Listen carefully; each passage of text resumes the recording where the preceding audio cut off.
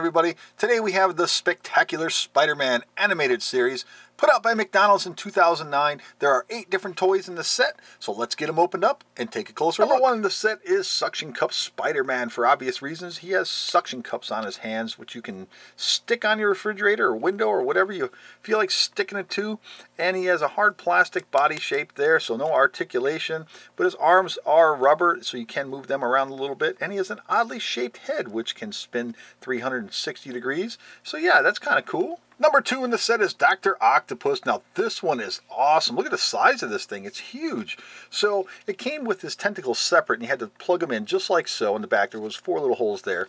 And then on the end of the top two tentacles, there are suction cups, which you can use to stick to your window or your your side of your wall or whatever, any kind of flat surface, and it makes it look like he's climbing up the side of your wall or your window. Yeah, this one's kind of cool, and he has a little spinning head there.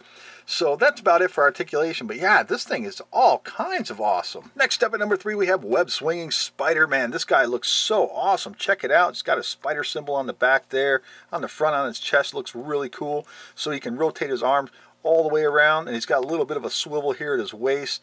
And up here you got a belt clip shaped like a spider web and it's got some spring loaded action in there. So what you do is you just kind of pull that and he automatically just swings back up. That is just so awesome. Up at number four is water squirting venom. Look at the size of this guy. He's all beast. Oh my goodness. He's all muscular and huge.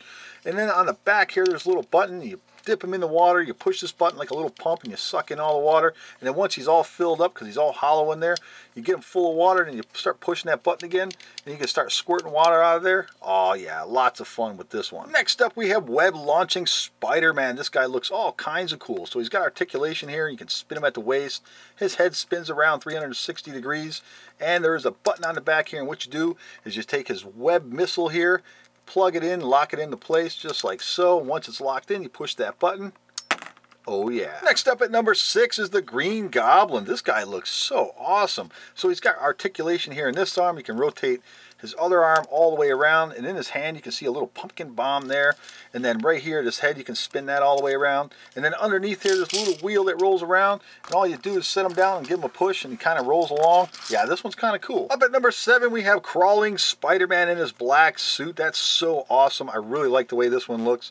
So there's really not a whole lot going on with him other than he's got a little bit of a pullback feature here at the on his stomach and all you do is you just take him pull him back let him go. And last up at number eight is Sandman with his launching ball of doom. So check it out on the back. There's a little button there. And all you do is you push that button and launch this giant ball. This thing is so cool. It doesn't go very far. There's not a lot of spring action in there, but it does kind of work. So there you have it, everybody. The Spectacular Spider-Man animated series put out by McDonald's in 2009. Just a wonderful set to have. Lots of fun to be had with this one for sure. Thanks for watching, everybody. Take care. We'll see you next time.